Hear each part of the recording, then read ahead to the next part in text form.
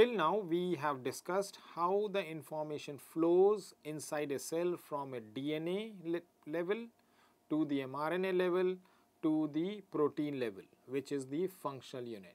So, if we now consider each of these layers as a level of information, a lot of data can be generated at each level and studied in detail to understand what is happening at each level. So, what we will now discuss in the next few slides are what are the sources of big data in biology. At what, what does each level of information DNA, RNA, protein give in terms of big data and how we can actually understand this big data and process it and that will come later in the later sections of the course. So, just to give you a brief overview what kind of data we can get. So, as I said there is a DNA level, there is an RNA level, there is a protein level. These are the three steps of the central dogma. In addition to that we have metabolites which are these chemicals that are uh, that drive most of the processes inside the cell. Then we have flux. That means how fast or how slow a process is happening. And these 1, 2, 3, 4, 5 steps are in the middle of the two main points. One is at the lower side. On the left side we have genotype which is the genetic makeup of an organism. On the right side we have the phenotype which means the outcome of that genetic makeup, right. Whatever traits we exhibit, whatever characters we exhibit. So, this is this sort of schematic shows how the genotype gets converted into a phenotype, how a genotype gets translated into a phenotype. So, this is called genotype phenotype relationship and this is one of the most challenging relationship to decipher.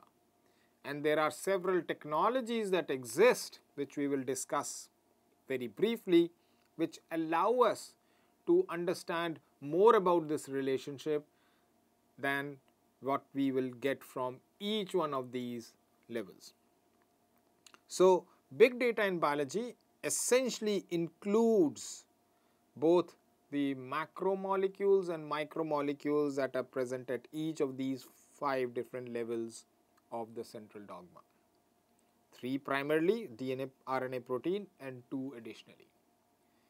And big data usually involves data collection which we will briefly discuss how it is done.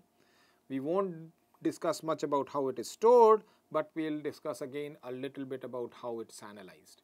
And the later part of the courses taken by other, um, other faculties will cover mathematical basis of how the analysis is done as well. So, if we just quickly go over this genotype phenotype relationship and each level of information. So, when I say DNA, because DNA is made up of which, which sort of makes up the genes, the big data that comes out of DNA is called epigen uh, is called genomics. So, genomics is essentially whatever the DNA of an organism is, of a cell is. The regulatory mechanisms that regulate the expression of the genome is called epigenomics. So, this is the regulatory mechanisms, the whole, right. So, we are talking about not just one gene, not just two genes, but all of the genes of an organism. So, if I am talking about a human cell, genes only, if I am talking about genes only which is approximately 30,000 genes in humans, then this is called exome sequence variants, disease associated mutations that give risk to a particular disease and we will see some of the examples of this technique later on in the course.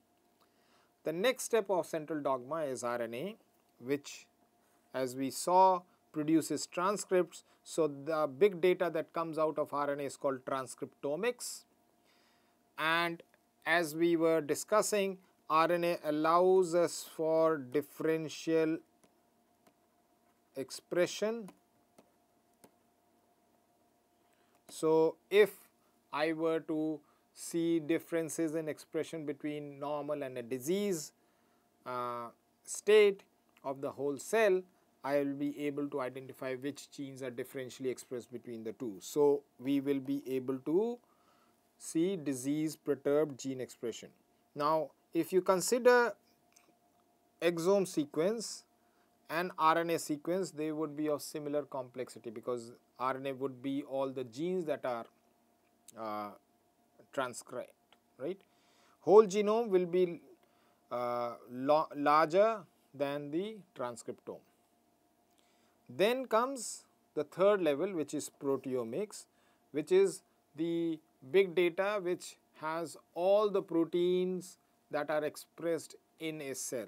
Now similar to RNA transcriptomics, differential proteomics would allow us to see what is what are the differences at the protein level and what are the differences between how proteins interact because one of the properties that proteins do is that they interact and we saw that in the hemoglobin example that there can be different domains that can come and interact, right. Similarly, different proteins of different kinds actually come and interact to bring about a particular function.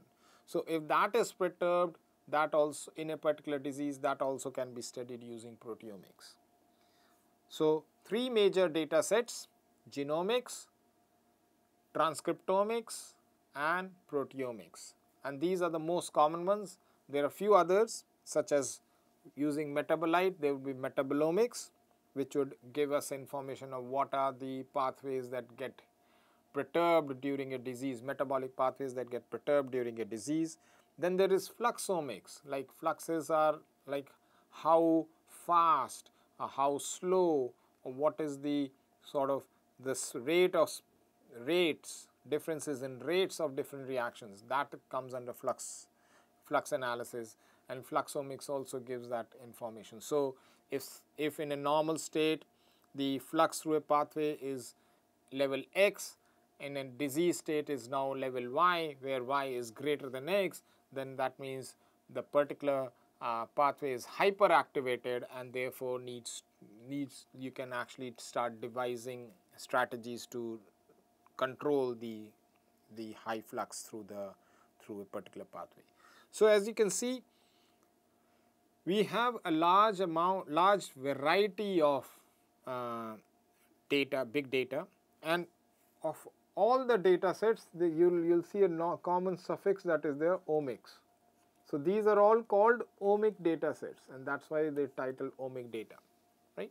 So, from DNA to re recap from DNA we get genomics, from RNA we get transcriptomics, from protein we get proteomics and these are the three major data sets that are available.